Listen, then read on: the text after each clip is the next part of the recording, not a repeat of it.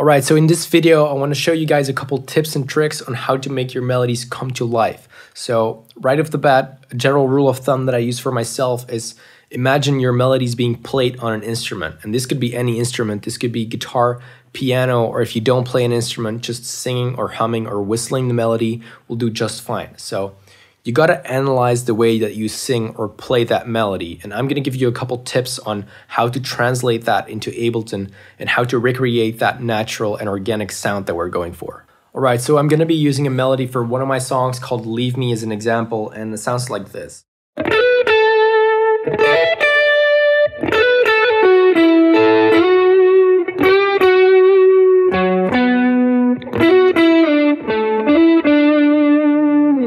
Alright, so now I'm to recreate this melody in Ableton and step by step we're to try and make this melody come to life. So this is what that melody would sound like if I would just program it in MIDI and I just used Serum for this instance.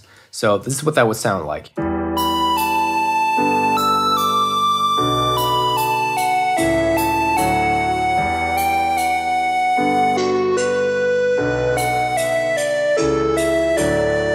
So the first thing you can mess around with is ghost notes and pitch bends and pitch slides. So if you listen carefully to how I play it on my guitar, you will hear that I play these little notes right in front of every other note. And it sounds like this. And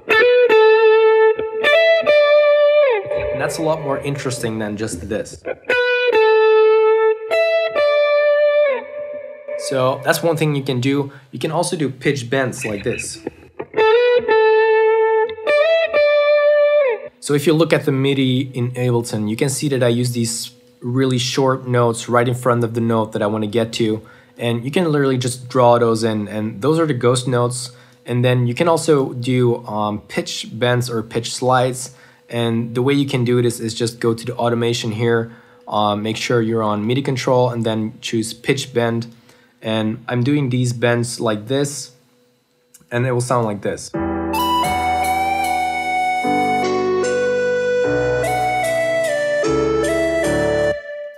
So that helps a little bit. You have to make sure that your minimum maximum value for the pitch bend, for example, in Serum, are set to whatever value you want it to be. Usually it's plus two and minus two, um, but you can of course play around with that. All right, so the next thing you can do to make things more interesting is use vibrato or tremolo. And you have to go back to the instrument version and look at where you would naturally want to place those vibratos. So usually that would be on the longer notes. So if you listen back to the guitar version, that's where you would place a vibrato. So it's usually on the longer notes or just portions of that longer note. So when we try to recreate this in Ableton, you could probably do it inside of your soft synth, for example, Serum, but I often find that that sounds very computery, so I like to use this plugin called mVibrato. It's a free plugin by Melda Plugins, and the reason that I like this plugin so much is because you can control the depth of your vibrato, you can control the rate, I will usually put the depth at around 4 to 6% and the rate at 6 to 9k hertz. Um, but the cool thing about this plugin is that you can use the tremolo too. So I like to invert the phase of the tremolo too. For some reason, that sounds more organic to me. And then there's this smoothness feature as well. And this is what really makes things more natural. I don't know exactly what it does, but for some reason, it just sounds more natural and more smooth when you use it. So what I would do is I automate the on off feature on this plugin. And as you can see, I just put it at certain times of a certain note. So these are the longer notes and I would just put it at a certain time of that note. And with the vibrato and everything on that plugin, it sounds like this.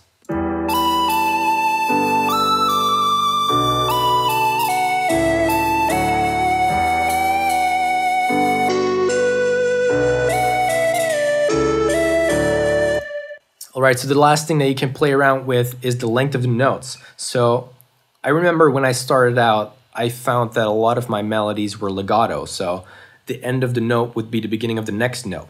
Um, when you play melodies on an instrument or you sing them, you will find that oftentimes that's not true. So when I play this melody on guitar, you will hear that not everything's legato. That's all legato, but then there's a little stop to when the next node begins.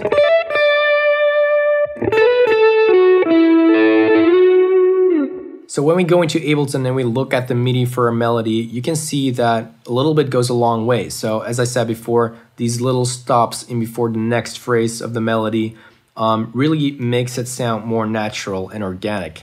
And you can even play around with the length of your ghost notes and just a tiny offset in the length of these notes is enough to make it feel more organic. Alright, so now let's go back to our original melody and hear the difference between before and after.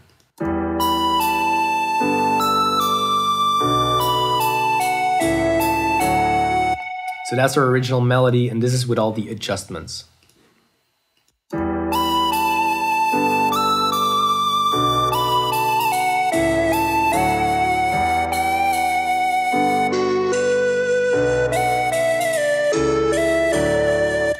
So that sounds a lot more organic and natural to me. Alright, so one last bonus tip. If you really want to take things to the next level, you can try and bounce your melody out to audio and resample it or repitch it. So this is our original melody.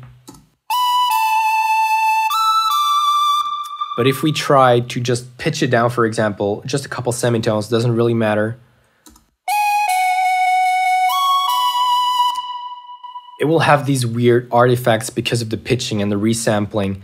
And for some reason, it will smoothen out the, the little details and the perfection of the computer. So this will really help make things sound more natural and organic. You will lose a little bit of quality, but at the end of the day, it will sound more like a recording of something organic and it will sound less like a MIDI instrument.